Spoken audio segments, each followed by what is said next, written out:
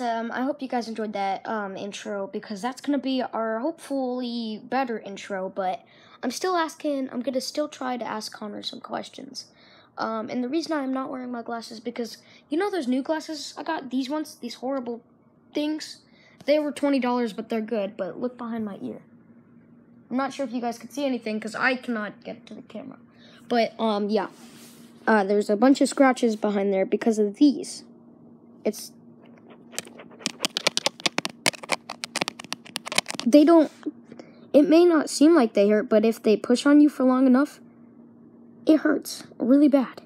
So yeah, you're probably gonna see a lot more of this, or you're probably gonna see a lot more of my other glasses.